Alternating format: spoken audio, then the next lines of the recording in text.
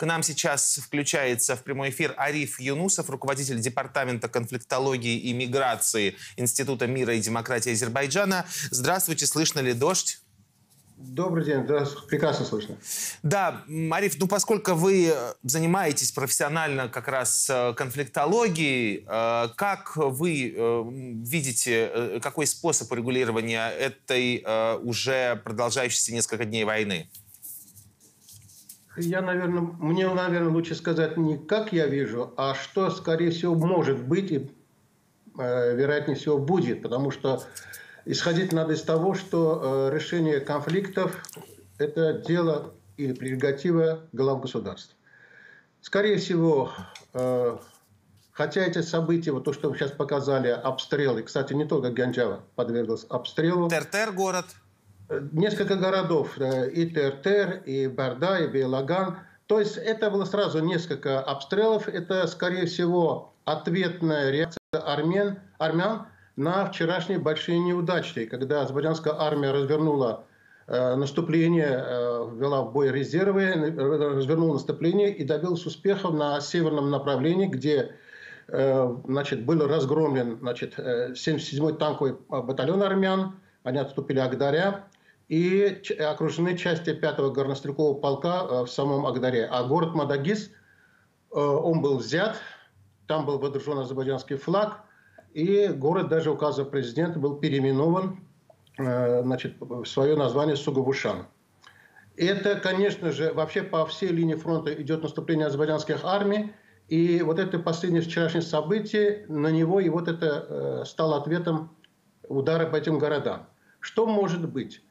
Скорее всего, скорее всего, в ближайшее время мы можем видеть более активную роль России в регионе – и, скорее всего, в ближайшее время я лично ожидаю э, переговорный процесс э, в плане э, ввода войск э, в качестве миротворческих российских в зону значит, региона. Это, собственно говоря, старая в общем-то, идея. Она всегда была актуальна, но особенно стала возникла на повестке дня после апрельских боев 2016 года, 2016 года, так называемый э, модернизированный план Лаврова, смысл которого сводит к тому, что значит, поэтапно армянские, армяне обозначают Азербайджана пять районов, оккупированных районов вокруг бывшего НКО. Значит, возвращаются э, туда азербайджанцы, а между армянами и азербайджанцами будут миротворческие войска, э, конкретно российские войска. Вот, скорее всего, вот вокруг всего этого и будут идти сейчас события. Если обратить внимание, что еще недавно, например, Никол Пашинян с порога отвергал эту идею, то сейчас он уже э, несколько иначе подходит и говорит, что можно рассматривать этот вариант в рамках переговоров Минской группы. То есть не отвергает уже эту идею. И, скорее всего, мы в ближайшее время услышим о начале переговоров под эгидой Москвы, ну или официальной Минской группы вокруг этого. Да, но при этом Москва э, в лице Путина, э, Париж, Макрон и Вашингтон, Трамп на этой неделе, в четверг, вот я уже задавал этот вопрос вашим коллегам, цитировал, заявили о том, что э, прекращение огня без выдвижения предварительных условий, а Азербайджан эти условия выдвигает, э, и возобновление переговоров по существу урегулированию. Э, никакой реакции Баку на это не было, зато президент Эрдоган, выступая в парламенте, резко раскритиковал идею прекращения огня без возвращения территории Азербайджану. Это я вот цитировал, э, напоминал о событиях э, этой недели уходящей. Э, почему не было никакой реакции Алиева на это? И возможно ли при нынешней конфликтной ситуации его переговоры с Пашиняном? Э, во-первых, тут речь идет о том, что Турция хочет играть более активную роль и чтобы э, не только российские войска присутствовали в регионе в качестве миротворческих, но и турецкие. Вопрос еще в этом, с этим связан. И мы многое не знаем, мы судим по айсбергу, потому что мы слышим. Да, вот, это то, что именуется айсбергом. А вот то, что скрыто, это конфиденциальные переговоры среди дипломатов, на дипломатическом уровне, на уровне глав государств, это от нас скрыто. Но одно ясно, что, скажем, Пашинян три раза звонил Путину. И ни разу звонков Путина с Алиевым не было. Это во многом тоже показатель, говорящий о том, что, э, в общем-то, предварительная договоренность между, скажем, я думаю, я полагаю, между Алиевым и Путиным уже была и есть. Здесь вопрос Пашиняне, скорее всего. Поэтому, а все остальное, то, что говорит без предварительных условий, я полагаю, что это просто э, часть дипломатической риторики. Я более чем уверен, что в ближайшее время, скорее всего, боевые действия начнут постепенно стихать, и мы услышим о, пускай э, начальной фазе осторожно, но переговорный процесс будет возобновлен. Ну, это хороший очень прогноз. Будем надеяться, что э, так и будет, как э, вы об этом э, заявляете. Э, если говорить о международном сообществе, э, можно ли, ну, по вашим данным, какие, какие сегодня союзы вокруг Азербайджана образовались в мире и вокруг Армении? Ну, в этом вопросе есть, существует определенная сложность, потому что формально, если подходить, скажем, э, кто поддерживает Азербайджан? Есть, ясно, что Турция, ясно, что Пакистан. Это страны, которые открыто и сразу об этом заявили. Э, более или менее симпатия относится, скажем, Украина. Хотя э, четких движений в этом направлении нет. Что касается остальных, то, скорее всего, они более, заняли более выжидательную позицию. Или позицию, скажем так, нейтралитета. Это касается и Грузии, это касается и других стран. Вот. Россия – это главный игрок в нашем регионе. Поэтому не столько играет роль, как Азербайджану или Армении относятся другие страны, как вот этот момент важно. Какова будет позиция России?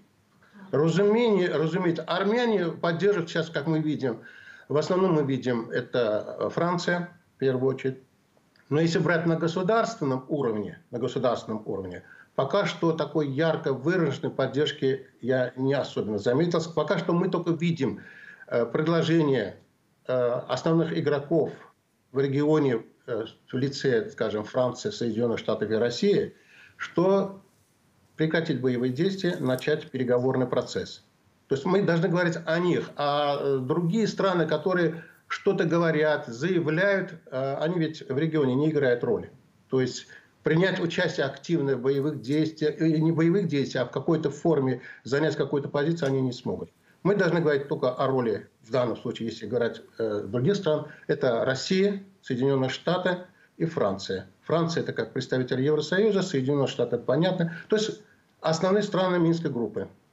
Спасибо.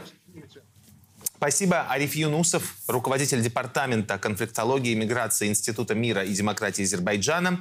С нами сейчас на связи Микаэль Залян, депутат парламента Армении, политолог. Мы, э, напомню, даем высказаться всем сторонам этого конфликта, не занимая э, ничьей позиции, ничьей стороны. Михаил, э, добрый день. Здравствуйте. Слышно ли студию «Дождя»?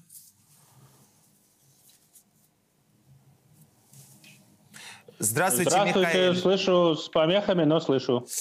Здравствуйте. Э, ну вот несколько э, уже часов сегодня утром и вчера, э, и мы видели это в репортаже Митиловского, последние дни происходили бомбежки по Степанакерта. Сегодня эпицентр сменился в азербайджанский город Гянджа по которому тоже ударили военные силы. Вы какое разрешение конфликта видите для себя? Как вы считаете, и для Армении, и для Азербайджана? Ну, знаете, здесь нужно разделять э, конфликт в целом, то есть как вот то, что называется Карабахский конфликт, которому 30 лет, и ту войну, которая началась 27 сентября. Э, при всем том, что существовало много проблем, много противоречий, до 27 сентября люди жили в своих домах, молодые люди не погибали, э, никто, ну, были, конечно, инциденты на границе и на линии контакта, но то, что началось 27 э, сентября, это очень конкретная военная операция, которая проводится по приказу двух очень конкретных людей. Диктатора Азербайджана Ильхама Алиева и не меньшего диктатора Эрдогана, который его поддерживает и поощряет. Поэтому здесь все понятно. Эта военная операция должна прекратиться. Ее начинали не военные силы Арцаха и не военные силы Армении. Это военная операция, которая предпринята режимом Алиева с очень конкретными политическими целями. И которая поощряется режимом Эрдогана с тоже очень конкретными политическими целями, а, а какие они политические? из Южного Кавказа. Ага, я понял. Я вам скажу, угу. для режима Алиева это вопрос политического выживания, потому что внутри страны у него очень серьезные проблемы, экономические, э, проблемы демократической легитимности, проблемы с собственным населением, которые не новы. Да? В принципе, режим Алиевых сначала отца, а потом сына существует с 93 -го года. И естественно, что сейчас, когда упали цены на нефть, когда проблемы с ковидом и вот все остальное, то Алиеву нужна такая маленькая победоносная война. К сожалению, как мы видим, она не маленькая и тем более не победоносная для режима Алиева. А, а Эрдогана заботит другое. Эрдогану нужно вытеснить из Южного Кавказа Россию по возможности. Он понимает, что конечно, полностью вытеснить Россию ему не удастся. В результате всего, что происходит, он хочет потеснить Россию. В частности, он хочет э, разрушить формат Минской группы ОБСЕ. Как вы, наверное, знаете уже, э, Россия – это один из сопредседателей Минской группы. И э, вместе с Францией и США имеет очень важную роль в мирном процессе на Горном Карабахе. Э, Эрдоган пытается вытеснить э, Минскую группу ОБСЕ из процесса урегулирования и разрушить этот формат, и, естественно, в каком-то вместо этого создать какой-то новый формат, в котором уже он будет играть э, основополагающую роль. Для этого затеяна вот эта новая война, и из-за этого погибают люди, к сожалению. А если говорить об отношениях э, Путина и Эрдогана, они несколько раз переживали то взлеты, то падения, э, все время оставались неровными. Как вы считаете, отношения э, Москвы и Анкары какими будут э, вот после этого конфликта, который, надеемся, скоро очень закончится? Ну, вы знаете, я, я думаю, это вопрос скорее к моим коллегам из, например, Госду, Госдумы, э, которые все-таки отвечают за политику России. Э, мне кажется, что здесь э, есть э, очень очевидная цель со стороны Турции. Э, об этом я уже говорил. И здесь Россия просто должна оценивать ситуацию, поступать в соответствии со своими интересами. Э, в этом плане, я думаю, интересы и Армении, и мирового сообщества, и вообще всего региона совпадают с интересами России, потому что ни Армении, ни России, ни карабахцам не нужна эта война, никому не нужно вот это участие Эрдогана, э, да, которое проявляется в, посылке войск, вооружений и так далее – и тем более никому не нужно участие джихадистов, наемников из Сирии, из Ливии, возможно, из других э, конфликтных зон. Э, об этом уже достаточно много говорилось. И участие вот этих наемников в конфликте, оно фактически приводит к тому, что э, происходит импорт нестабильности из Ближнего э, Востока в постсоветское пространство. Э, то есть вот все эти вещи, которые мы видим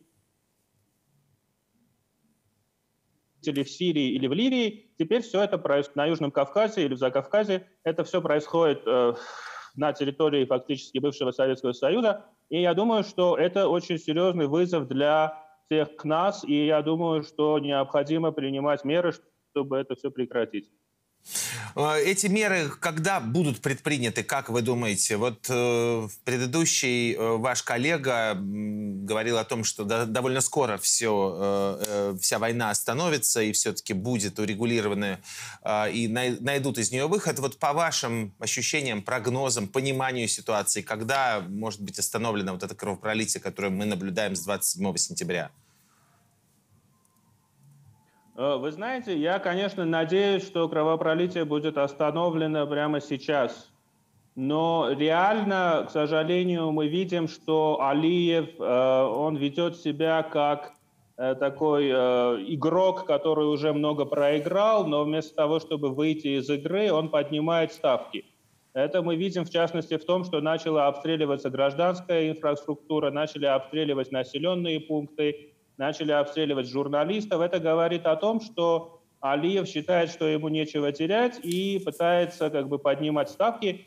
И к сожалению, это означает, что остановить войну прямо сейчас вряд ли удастся. Но в целом это зависит от двух факторов. Это зависит от боеспособности вооруженных сил Арцаха, и это зависит от активности, дипломатической активности э, Арцаха, Армении, стран-посредников.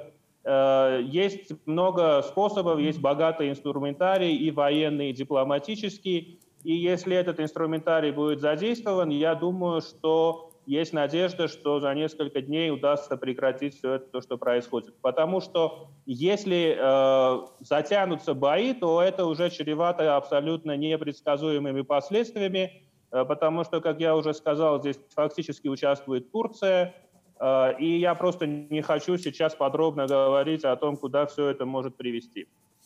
А, Михаил, есть ли какие-то официальные данные со стороны э, Армении, ну, раз вы депутат парламента Армении, по э, потерям среди мирного и военного населения?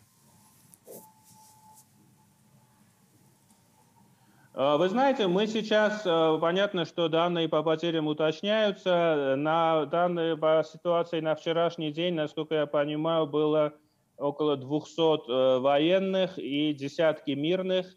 Э, на армянской стороне военные потери намного меньше, чем на азербайджанской, потому что азербайджанская армия наступает, и там буквально уже речь идет о тысячах э, потерь, тем более, что там воюют не только граждане Азербайджана, но и вот эти джихадисты, которых просто используют как пушечное мясо, и э, они идут в атаку, их уничтожают сотнями. Но, конечно, я думаю, что реальная картина по потерям будет полностью понятна только когда установится перемирие. Спасибо. Микаэль Залян, депутат парламента Армении, политолог, был на связи с э, «Дождем». Сейчас к нам присоединяется Расим Мусабеков, депутат парламента Азербайджанской республики. Расим, здравствуйте, слышно ли дождь? Здравствуйте, я вас слышу. А, есть ли, вот мы сейчас спрашивали у коллеги вашего из Армении, вам хотим тоже этот же вопрос задать о, о том, что, в общем, весь мир больше всего волнует. Это какие потери э, сейчас, какие цифры какие-то официальные, сколько вот в результате этой войны, которая уже неделю идет, э, погибло человек э, в Азербайджане, в Америке мирного населения? Знаете, я еще примерно 29 лет тому назад начинались, когда переговоры, мы пытались, еще войны не было, пытались э, достичь мирного регулирования. Я был советником президента и вел переговоры с азербайджанской стороны. Отец Михаила Заляна, Сурен Залян, тогда был председателем комиссии по, по международным отношениям парламента Армении. И мы вели тогда диалог. И я очень сожалею, что тогда, когда еще не было войны, именно из-за завышенных требований Армении, сводившись к тому, чтобы оторвать кусок территории от Азербайджана, все это дело закончилось войной в 1992-1993 году, и сейчас эта война продолжается. Первая война вынесла примерно 20 тысяч ну, по разным оценкам 20-25 тысяч человек, потому что примерно 5 тысяч человек числилось как без вести пропавшие. Но и сейчас есть жертвы. Конечно же, есть жертвы и среди военных, среди гражданских лиц. Ну, последняя бомбардировка в Гянджи, и там погибшие и раненые. Э, мне пришлось, я представляю городской э, округ, ну, это спальный район Баку, там где-то примерно 200 тысяч населения живет, и мне уже приходилось э, посещать. Вот один человек, он э, был, пошел добровольцем на фронт и буквально через несколько дней погиб. Единственный сын родителей. Э, во второй семье она не, не, они не мои избиратели, это беженцы из Физули. Тоже э, сын, уж был контрактник, воевал и в первые же дни войны погибшие. Таких погибших есть под каждом районе. Ну, я уверяю вас, что цифры потерь с азербайджанской стороны вовсе не такие фантастические, как это э, пытался представить э, коллега э, Микаев. Ну, смысле... давайте здесь без эмоциональных оценок. Я, я, как, я исключительно про официальные данные. Вот они есть сейчас у Азербайджана или нет? Есть, конечно, эти официальные данные есть у Министерства обороны. Они в условиях военного положения не считают нужным сегодня объявлять эти цифры. Но они будут, конечно же, известны.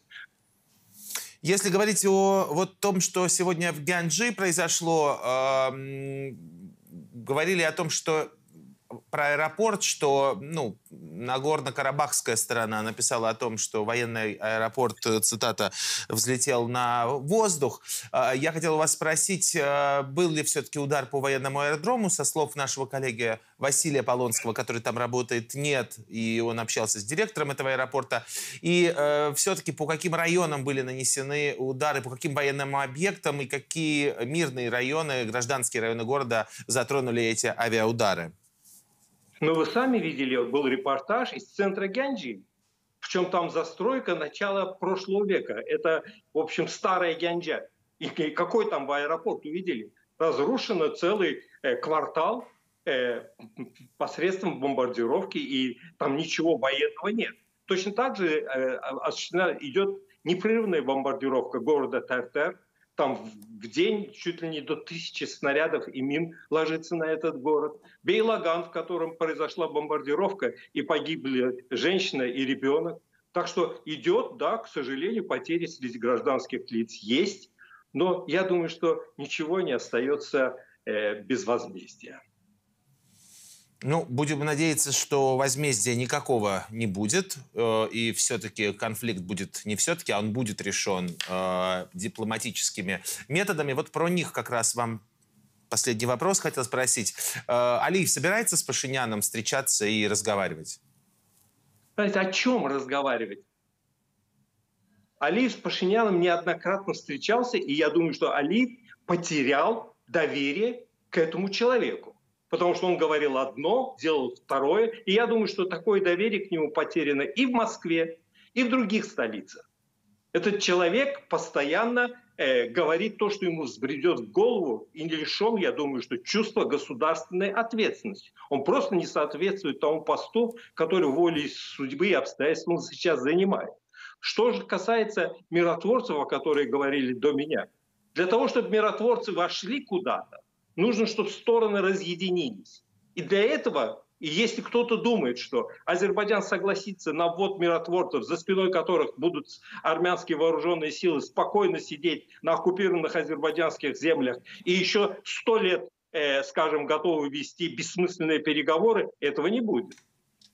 Перегов... Любое мирное урегулирование начнется с того, что армянские вооруженные силы должны покинуть оккупированные территории Азербайджана вокруг Нагорного Карабаха. И я... если кого-то... Да-да-да, Расим, э, я понимаю вашу позицию, э, но э, хотел вам задать вопрос в связи с заявлением трех стран. Это США, Франция и Россия, которые заявили о без выдвижения предварительных условий возобновить переговоры по существу регулирования. То есть без предварительных условий, о которых сказали вы, освободить территорию. Как тогда вы видите это разрешение конфликта в этой, э, после этих заявлений Макрона, Путина и Трампа? Они заявили, мы выслушали, и ситуация остается такой, какой мы с вами наблюдали. То есть для вас эти заявления для президента Алиева ничего не, не значат? Ну что они означают? Что возьмите, остановитесь, и это же практически невозможно. Для того, чтобы остановить войну, нужны определенные предварительные договоренности. И эти договоренности включают вывод армянских вооруженных сил с оккупированных азербайджанских территорий.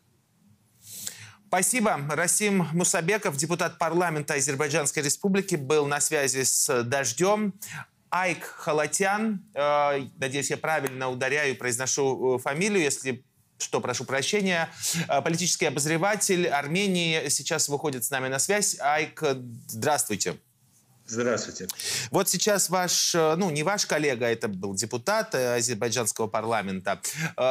Тем не менее, он заявил я о том... Я хорошо лично знаю. Господина Мусабекова я хорошо лично знаю. Ну, тем более, да. Вот господин Мусабеков заявил о том, что э, США Франция и Россия заявили, ну и что? А мы не услышали. И дальше э, предъявляем главный вопрос, главное требование – это вот освободить э, территории э, э, оккупированного, как считают в Азербайджане, Нагорного Карабаха. Э, как выйти из этой ситуации, если три страны, сопредседатели Минской группы в ОБСЕ заявляют о том, что немедленно все остановить без каких-либо требований, Азербайджан говорит про то, что требования сначала нужно выполнить? К сожалению, я в определенной степени соглашусь с господином Мусабеком, что да, страны-сопредседатели заявили, но Азербайджан, как ранее, не хотел выполнять их призывы к миру, к внедрению механизма расследования инцидентов на передовой, так и сейчас продолжает бои. И, к сожалению, практика показывает, что официальный Баку понимает лишь язык силы. И сейчас армянские вооруженные силы на передовой пытаются донести до Баку что военным путем этот конфликт ему никогда в жизни не решить, как это было в 1994 году, так и сейчас. И как мы видим, вот после таких событий в Гиандже и всем остальном, что люди, которые браво аплодировали в азербайджанских соцсетях по ударам, уничтожению Степана Керта и других населенных пунктов Арцаха, сейчас в панике обвиняют Армению в том, что почему вы наносите удары по Гиандже. Извините, во-первых, удар был нанесен к слову, я хочу господину э, Полонскому Василию, которого тоже лично знаю, сказать, что удар был нанесен не по гражданскому аэропорту Гианджи, а по военному аэродрому. Это две разные вещи. Вот, я вот давайте уточните, потому что мы тоже, э, да, мы спрашивали да, у Васи, воен... Э, есть второй аэропорт военный в городе? Да, да, это очень известный, старый еще с советских времен военный аэродром, который никак не связан с гражданским аэропортом Гианджи. Это раз. И во-вторых, в моменте война, армянская сторона предупреждала. Вот сейчас даже президент Ацаха опять сказал, что мы останавливаем огонь. Ну давайте вы не стреляйте по мирным городам. Кстати, я напомню, что ваш, даже ваш журналист уже несколько дней, который находится в Степанакерте, наглядно показывал, что творится в Степанакерте, что из реактивных систем залпового огня обстреливаются Степанакерт, ну и другие города, где он был. К слову, помните ранение французских журналистов? Это тоже было в мирном населенном пункте. Поэтому, а, повторюсь, Сегодняшние события должны показать азербайджанскому обществу, что, знаете, война, которую вы так радостно аплодируете и так радостно призывали, это не там далеко за горами. Эта война может прийти к вам домой, и она придет.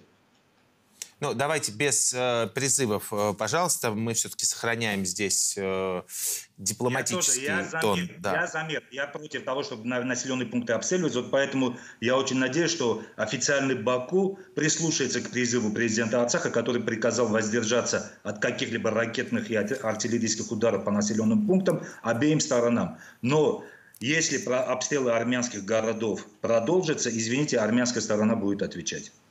Это каким... я как гражданин, э, как армянин буду требовать от властей Арцаха, чтобы они хоть как-то отвечали и защищали мирных жителей Арцаха. По каким городам Армении были нанесены э, удары? Э, Степанакерт несколько дней, понятно. Какие еще? Потому что в Азербайджане, вот перечисляли наши э, участники сегодняшнего эфира из Азербайджана, несколько городов, и Гянджи, и...